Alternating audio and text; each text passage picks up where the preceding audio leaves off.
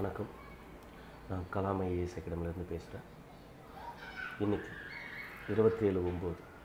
இன்றைக்கி வந்து Tamil Nadu public service commission அதாவது தமிழ்நாடு பணியாளர் தேர்வாணையம் ஒரு புதிய அறிவிப்பை ஒன்று வெளியிட்டிருக்காங்க.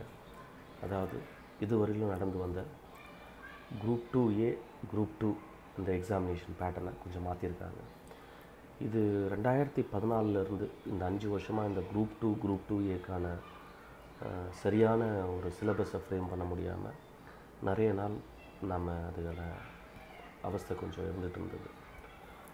குறிப்பாக முதல்ல முதல்ல குரூப் டூ குரூப் டூ ஏன்னு பிரிக்கும்போது group two mains group two A சாதாரணமாக நூறு மார்க்கு தமிழும் நூறு மார்க்கு ஜென்ரல் ஸ்டடீஸும் அதாவது பொது அறிவும் இருந்தது. குரூப் டூ மெயின்ஸை பொறுத்தவரையிலும் பார்த்தீங்கன்னா இருபத்தஞ்சி டிஸ்க் அப்படியே அப்ஜெக்டிவ் டைப்பில் ஐம்பது மார்க் ஷேட் பண்ணோம் ஃபிஃப்டி மார்க்ஸ்க்கு வந்து டிஸ்கிரிப்டிவ் எழுதுகிற மாதிரி இருந்தது. அப்புறம் கொஞ்சம் கொஞ்சமாக மாற்றினாங்க இப்போ இன்றைக்கி என்ன முக்கியமான அறிவிப்பு அப்படின்னு பார்த்தோம்னா இது ஒரு மிகப்பெரிய மாற்றம். இந்த மாற்றம் காலத்தால் ஏற்றுக்கொள்ள வேண்டிய மாற்றம். இது வந்து ஒரு ஒரு சில பேருக்கு கஷ்டமாகவும் சில பேருக்கு ஈஸியாகவும் இருக்கிற ஒரு மாற்றம் தான். முதல் சிலபஸ் என்னன்னு நம்ம தெரிஞ்சுக்கணும். சிலபஸ் பேஸ் பண்ணி தான் ப்ரிப்பேர் பண்ணணும். சிலபஸை உள்வாங்கி அதுக்கு ஏற்ற மாதிரி ப்ரிப்பேர் பண்ணுறவங்களால தான் சக்ஸஸ் ஆக முடியும். இதுவும் இன்ஸ்டியூட் போகிறோம் அவங்க ஏதோ ஒரு மெட்டீரியல் தராங்க அதை வச்சு படிக்கிறோம் அப்படிங்கிறது தப்பான ஒரு விஷயம். முதல்ல உங்களுக்கு என்ன சிலபஸ் எந்த சிலபஸ் ரிலேட்டடாக நம்ம படிக்கிறோம் அப்படின்னு தெரியும். சரி இன்றைக்கி ஒரு ஜஸ்ட் ஒரு ரெண்டு மூணு நிமிஷத்தில் இந்த இன்றைக்கி சிலபஸ் பார்த்துடலாம் பேட்டர்ன் என்ன? ஒரே exam group two group two A ரெண்டு பேருக்கும் ஒரே எக்ஸாம் ரெண்டு பேரும் இது தனித்தனி ஆள் கிடையாது. யார் குரூப் டூ இன்டர்வியூ போஸ்ட்டு வாங்க போகிறாங்க யார் குரூப் டூ நான் இன்டர்வியூ போஸ்டிங் வாங்க போகிறாங்கன்னு தெரியாது. ரெண்டு பேரும் ஒரே எக்ஸாம் எழுதுகிறாங்க ஒரு ஒரு ஐயாயிரம் வைக்கன்சின்னு வச்சுக்கலாம். ரெண்டு பேரும் எக்ஸாம் எழுதுகிறாங்க சரி முதல்ல வந்து நம்ம இதை பார்த்துடலாம். முதல்ல வந்து சிலபஸ் ரிலேட்டடாக பார்த்துடலாம். அதுக்கப்புறம் எப்படி இந்த போஸ்டிங் எப்படி எக்ஸாமினேஷன்றதை பற்றி பின்னாடி பார்க்கலாம். முதல்ல சிலபஸ் என்ன பண்ணிட்டுருக்காங்க? ரெண்டு பேருக்கும் காமன் சிலபஸ் கொடுத்துட்டாங்க. தமிழ் பொது தமிழ் ஜென்ரல் இங்கிலீஷ் இந்த டாபிக் ஹண்ட்ரட் ஹண்ட்ரட் மார்க்ஸ் இந்த டாப்பிக்கை தூக்கிட்டாங்க. இனிமேல் group one group two A group two இது மூணுத்துக்குமே டூ ஹண்ட்ரட் மார்க்ஸுக்கு ஜென்ரல் ஸ்டடீஸ் நடக்கும். பொது அறிவை பேஸ் பண்ணி தான் இது நடக்கும். இனிமேல் group one group two group two A மூணுத்துக்குமே பொது அறிவு இருந்து இருக்கும். குரூப் டூ குரூப் டூ ஏக்கு மெயின்ஸ் பேப்பர் டிஸ்கிரிப்டிவ் டைப்பில் அதாவது எழுத்து வடிவத்தில் ஒரு டிஸ்கிரிப்டிவ் டைப் பேப்பர் ஒன்று இருக்குது குரூப் டூவும் குரூப் டூ ஏக்கும் குரூப் ஒன்றுக்கு மூணு பேப்பர் இருக்குது. அது ஈச் டூ ஃபிஃப்டி மார்க்ஸ் அது பின்னாடி அது உங்களுக்கு தெரிஞ்சிருக்கும். அப்போது இனிமேல் குரூப் டூ ஏக்கும் குரூப் டூக்கும் ரெண்டு பேப்பரு ஒரு பேப்பர் பிலிமினரி பேப்பர் ஒரு பேப்பர் மெயின்ஸ் பேப்பர் இப்போ பிலிமினரி பேப்பரில் அதுக்கு முன்னாடி நூறு மார்க் ஜென்ரல் ஸ்டடீஸும் நூறு mark general English or general தமிழும் இருந்ததை தூக்கிட்டு ஒன்லி இரநூறு மார்க் இரநூறு கொஷின்ஸ்க்கும் டூ ஹண்ட்ரட் கொஷின்ஸ்க்கும் ஜென்ரல் ஸ்டடீஸ்னு கொடுத்துருக்காங்க. இதில் வழக்கம் போல் இருபத்தஞ்சி மார்க்கு ஆப்டிடியூட் ரீசனிங் கொடுத்துட்டாங்க. மீதி நூற்றி எழுபத்தஞ்சி மார்க்குக்கு ஜென்ரல் ஸ்டடீஸ் கொடுத்துருக்காங்க. அப்போது தமிழுக்கு தமிழுக்கு முக்கியத்துவம் இல்லையா? தமிழ் அப்போ ஆங்கிலத்துக்கு முக்கியத்துவம் இல்லையா? அப்படிங்கிற கேள்விக்கு பின்னாடி விடையை வச்சுருக்காங்க. இதில் வந்து பார்த்திங்கன்னா சிலபஸ் பொதுவாக பார்த்தீங்கன்னா அதே தான் current affairs history geography economics polity general ஜிகேன்னு சொல்கிற இது ப்ளஸ் ஜென்ரல் சயின்ஸ் ஜென்ரல் சயின்ஸில் ஃபிசிக்ஸ் கெமிஸ்ட்ரி பாட்னி ஜுவாலஜி இது இதை பேட்டர்ன் தான். இதில் ஹிஸ்ட்ரியில் மட்டும் ஒரு மூணு டாபிக் அடிஷ்னலாக ஆட் பண்ணியிருக்காங்க அதுக்கு முன்னாடி அதாவது history heritage culture of Tamil பீப்புள்னு ஒரு பேப்பர் அதுக்கு முன்னாடி தனியாக இல்லை. அதுக்கு முன்னாடி என்னென்னா இந்தியன் நேஷனல் மூமெண்ட்னு ஒரு பேப்பர் இந்திய விடுதலை போராட்ட வரலாறுன்னு ஒரு ஒரு டாபிக் இருக்கும் ஒரு யூனிட் இருக்கும். ரெண்டாவது வந்து இந்தியன் ஹிஸ்ட்ரின்னு ஒரு டாபிக் இருக்கும். இந்தியன் நேஷனல் மூமெண்ட்டில் அப்படியே திராவிடியன் பார்ட்டியோட டெவலப்மெண்ட்டு அது மாதிரிலாம் இருக்கும். இப்போ என்ன பண்ணிட்டாங்கன்னா இந்த பேட்டர்னை வந்து புதுசாக வந்து என்ன பண்ணியிருக்காங்கன்னா புதுசாக ஒரு பேப்பர் ரெண்டு பேப்பர் ஆட் பண்ணியிருக்காங்க அதாவது இந்தியன் நேஷனல் மூமெண்ட்னு ஒரு paper history culture heritage and social political movement in Tamil Nadu அதாவது வரலாறு கலாச்சாரம் பண்பாடு சமூக அரசியல் இயக்கங்கள் தமிழ்நாட்டில் நடந்த அரசியல் சமூக இயக்கங்களை பற்றி ஒரு பேப்பர் கொடுத்துருக்காங்க.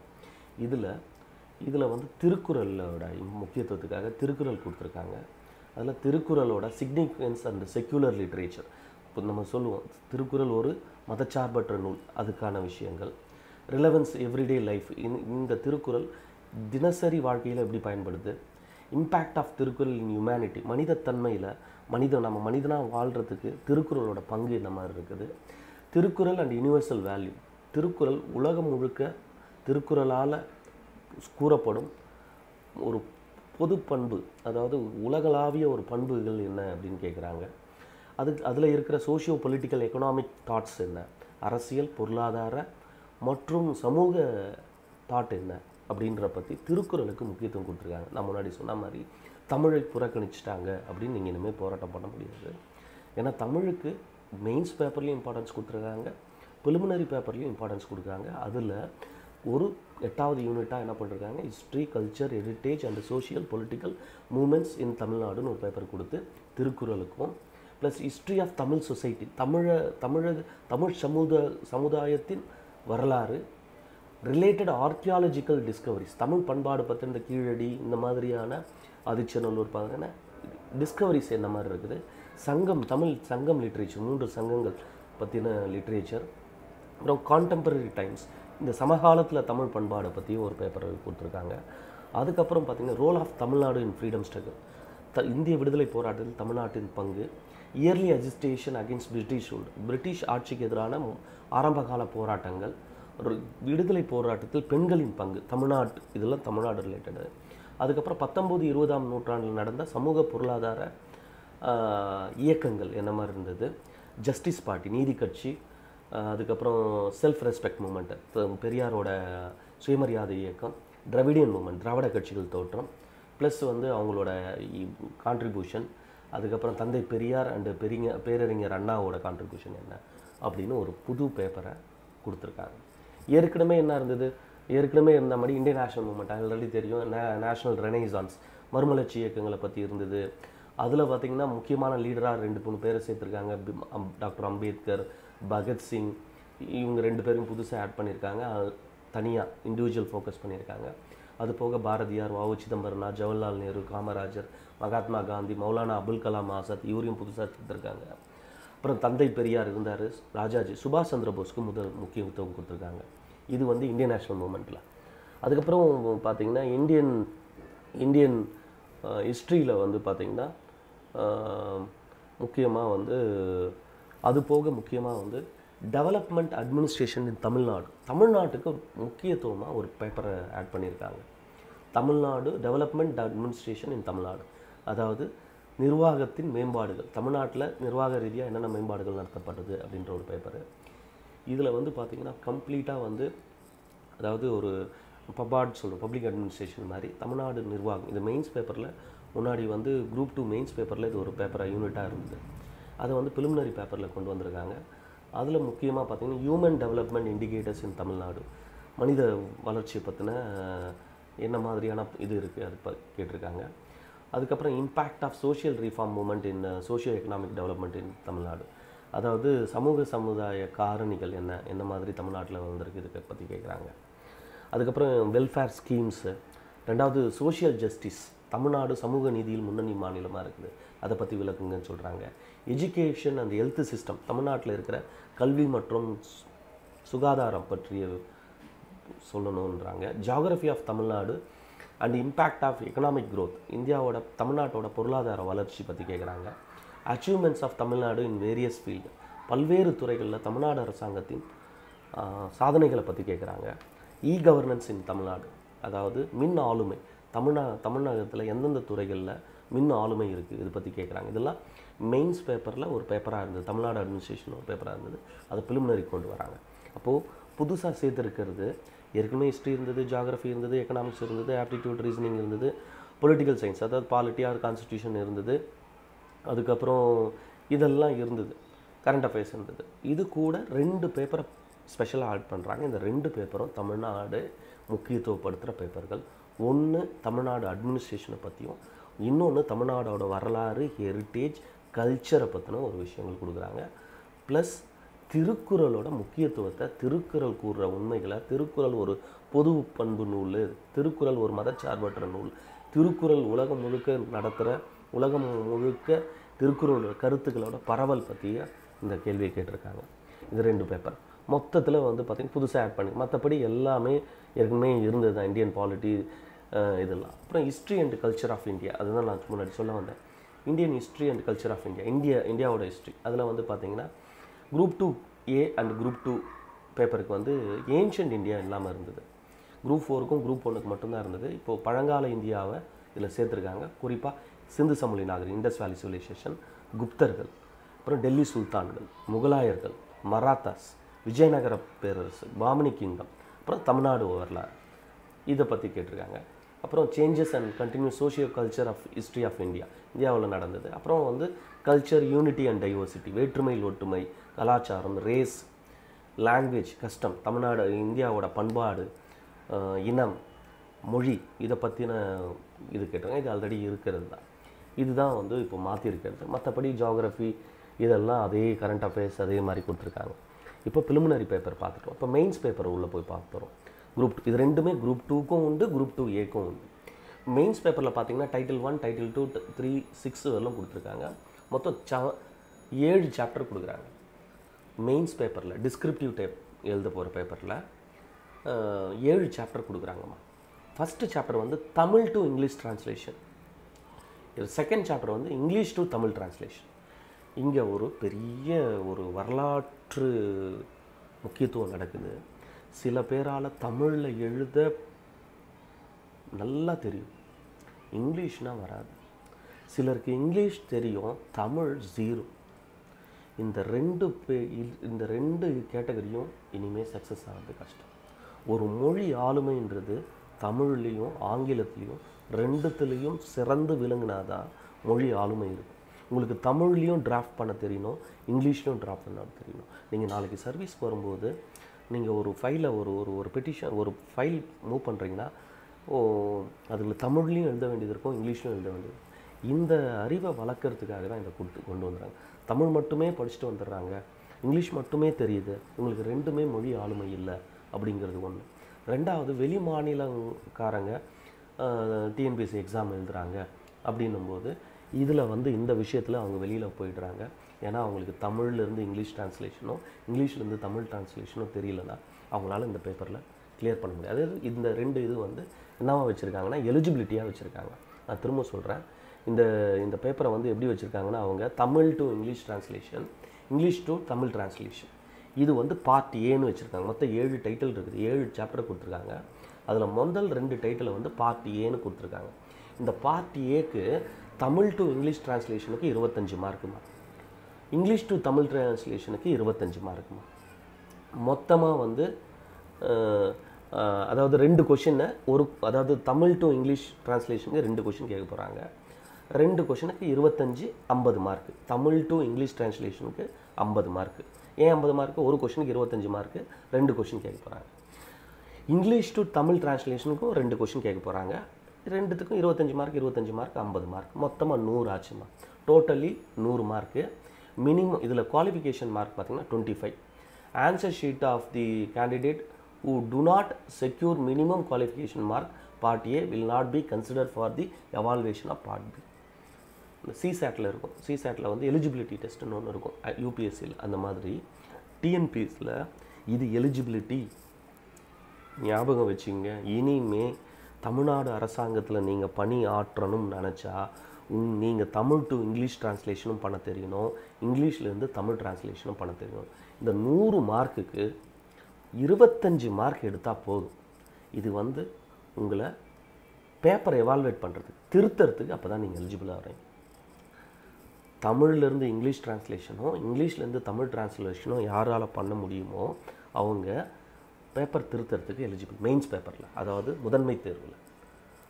இதில். ரெண்டாவது ஒன்றுலேருந்து ஏழு சொல்லியிருக்கேன். இது ரெண்டு முடிஞ்சிச்சு மூணாவது இது- பார்த்திங்கன்னா மூணு நாலு அஞ்சு ஆறு ஏழு இதை வந்து பார்ட் பின்னு சொல்கிறாங்க மூணாவது டாபிக் நாலாவது டாபிக் அஞ்சாவது டாபிக் ஆறாவது டாபிக் ஏழாவது டாபிக் இதை பார்ட் பின்னு சொல்கிறாங்க part A eligibility part B முக்கியமாக இதை வச்சு தான் உங்களுக்கு மார்க் பண்ண போகிறேன் அது எலிஜிபிலிட்டி இதில் இருபத்தி நீங்கள் நூ நூற்றுக்கு தொண்ணூற்றேழு எடுத்தாலும் எலிஜிபிலிட்டி தான். இருபத்தி ஆறு எடுத்தாலும் எலிஜிபிலிட்டி தான். அந்த மார்க் எதுலேயும் இன்வால்வ் ஆக போகிறது கிடையாது. இதில் என்ன சொல்கிறாங்கன்னா டோட்டலாக டூ ஹண்ட்ரட் மார்க்ஸ் சரிங்களா? இல்லை total marks obtained in part A and part B together will be consider for the selection சாரிம்மா இதில் மினிமம் குவாலிஃபிகேஷன் மார்க் இருபத்தஞ்சி சொல்லிடுறாங்க. இந்த இருபத்தஞ்சி மார்க்கு ப்ளஸ் இந்த இருபத்தஞ்சி மார்க் இல்லை நூறு மார்க்கும் கன்சிடர் பண்ணுறாங்க இதில் குவாலிஃபிகேஷன் நீங்கள் இருபத்தெட்டு எடுத்தாலும் அது வந்து சேர்த்துக்கிறாங்க. மொத்தமாக முந்நூறு மார்க்குன்னு வச்சுங்க சரிங்களா? மொத்தமாக முந்நூறு மார்க்குன்னு வச்சுக்கலாம். இந்த முந்நூறு மார்க்கில் பேப்பர் அதாவது மெயின்ஸ் பேப்பரில் முந்நூறு மார்க்கு முந்நூறில் பார்ட் ஏ பார்ட் பின்னு ரெண்டாக பிரிக்கிறாங்க. பார்ட் ஏக்கு நூறு மார்க் கொடுக்குறாங்க. பார்ட் பிக்கு இரநூறு மார்க் கொடுக்குறாங்க. பார்ட் ஏக்கு Tamil to English translation English to Tamil translation ரெண்டு ரெண்டு நாலு கேள்வி கேட்குறாங்க ஒவ்வொரு கேள்விக்கும் இருபத்தஞ்சி இருபத்தஞ்சி மார்க்கு மொத்தம் நூறு கேள்வி நூறு மார்க் வருது. இந்த நூறு மார்க்கில் இருபத்தி அஞ்சு மார்க்கு எடுத்தால் நீங்கள் குவாலிஃபை பேப்பர் திருத்துவாங்க. நீங்கள் இதில் இருபத்தஞ்சு கீழே எடுத்தால் உங்கள் பேப்பரை திருத்த மாட்டாங்க. இதில் எழுபத்தஞ்சு எடுத்தாலும் அந்த மார்க் கவுண்டட் அதை வந்து பார்ட் பிலையும் சேர்த்துப்பாங்க. மொத்தம் தேர்வு நடக்கிறது முந்நூறுக்கு தான். முந்நூறில் இருபத்தஞ்சி மார்க் எடுத்தால் மட்டும்தான் நீங்கள் இன்னொரு பார்ட் பியை திருத்துறதுக்கு நீங்கள் எலிஜிபிள் இல்லாட்டி பார்ட் ஏலேயே உங்கள் பேப்பரை ரிஜெக்ட் பண்ணிடுவாங்க. ஓகே பார்ட் பின்றது மூணாவது டாப்பிக்கு நாலு அஞ்சு ஆறு ஏழு அஞ்சு டாபிக் இருக்குது ஒவ்வொரு டாப்பிக்கும் இருபத் ரெண்டு மார்க் ரெண்டு ரெண்டு ரெண்டு ரெண்டு கொஷின் ஒவ்வொரு டாப்பிக்கும் ரெண்டு ரெண்டு கொஷின் இதில் மூணாவது டாபிக் வந்து ப்ரிசிஸ் ரைட்டிங் சரிங்களா? இது கொடுத்துறது.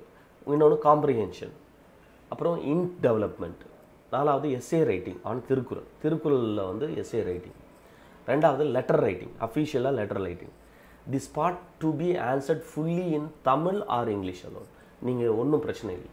ப்ரிசிஸ் ரைட்டிங்கை நீங்கள் தமிழில் எழுதலாம். காம்ப்ரிஹென்ஷன் தமிழ் காம்ப்ரிஹென்ஷன் பண்ணலாம். இன்க் டெவலப்மெண்ட் தமிழில் பண்ணலாம். Essay writing Thirukkural essay writing பண்ணலாம். இங்கிலீஷ்னா இங்கிலீஷில் பண்ணலாம். தமிழில் தமிழில் பண்ணலாம். திருக்குறள் ஞாபகம் வச்சுங்க திருக்குறள் மெயின்ஸ்லேயும் வருது. லெட்டர் ரைட்டிங் அஃபீஷியல் அஃபிஷியலாக ஒரு லெட்டர் எப்படி ரைட் பண்ணுறது இது தமிழில் எதில் வேணாலும் எழுதுக்கலாம். Answer fully in Tamil or English alone நீங்கள் இங்கிலீஷ் ஆர் தமிழில் பண்ணிக்கலாம். சரியா? ரெண்டு paper part B part A part A compulsory இதில் இருபத்தஞ்சி மார்க் எடுத்தால் மட்டும்தான் எலிஜிபிள் பண்ணுவாங்க. ஆனால் இதில் நூறுக்கு எழுபத்தி மூணு எடுத்தாலும் இந்த மார்க்கோட சேர்த்துப்பாங்க. இருபத்தி ஆறு எடுத்தால் கூட நீங்கள் எலிஜிபிள் அடுத்த பேப்பர் திருத்தறதுக்கு எலிஜிபிள் ஆனால் இதில் ஒரு நூற்றி எண்பது அதில் ஒரு இருபத்தாறு அப்படின்னு சேர்த்திங்கன்னா கூட உங்களோட ஓவரால் மார்க்கு இது சேர்த்து தான் பண்ணுவாங்க. இதுதான் பேப்பர் அப்போது திரும்ப சம் சிம்பிளாக ஞாபகம் வச்சுக்கலாம். தமிழ் கிடையாது இங்கிலீஷ் கிடையாது.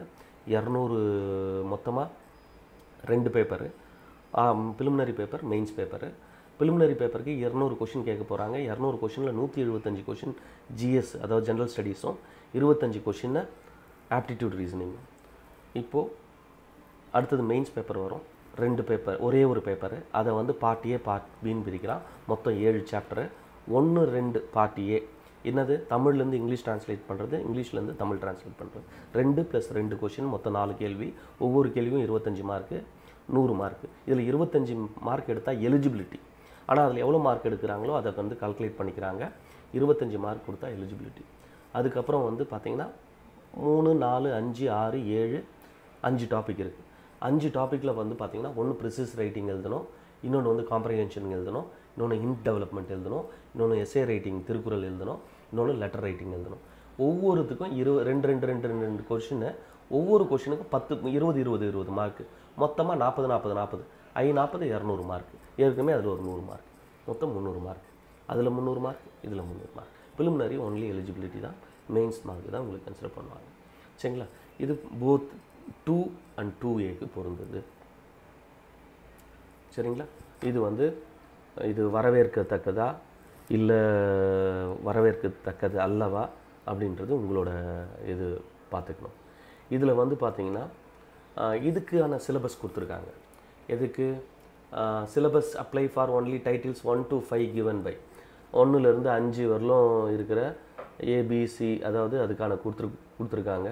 ஒன் ஒன் பாயிண்ட் டூன்னு இதில் origin development of Tamil civilization Sangam period literature musical tradition of Tamil Nadu dramatic art form socio economic history எல்லாம் தமிழ் தான். பட்டினப்பாளைய பற்றிலாம் கேட்குறாங்க அதுக்கப்புறம் contribution of social reform movement Tamil Nadu feminism contemporary Tamil language சமகால தமிழ் மொழி. தமிழுக்கு தாங்க நிறைய முக்கியத்துவம் கொடுத்துருக்காங்க. ஆனால் நீங்கள் வந்து பழையபடி ஓஎம்ஆரில் ஜீரோ ஷேட் பண்ணிட்டு வந்தீங்க இல்லையா? அந்த மாதிரி ஒரு மனப்பாடம் பண்ணிக்கிறது ஷார்ட்கட்டில் பண்ணுறது இந்த விஷயங்கள்லாம் இனிமேல் சார் செல்லுபடியா உங்களோட அறிவை முழுக்க முழுக்க ப்ரிடிக்ட் பண்ணுறாங்க ஸோ தயவு செஞ்சு இந்த சிலபஸை புரிஞ்சுக்கிட்டு படிக்க ஆரம்பிச்சிடுங்க. நோட்டிஃபிகேஷன் மிக விரைவில் வருது. நோட்டிஃபிகேஷனுக்காக காத்திருக்கிறவன் முட்டாள்தனமான விஷயம். நோட்டிஃபிகேஷன் எப்போ வேணாலும் வரும். நம்ம இப்போ இப்போவே தயாராகிறது தான் புத்திசாலித்தனம் நோட்டிஃபிகேஷனுக்காக யாரும் வெயிட் பண்ணாதீங்க.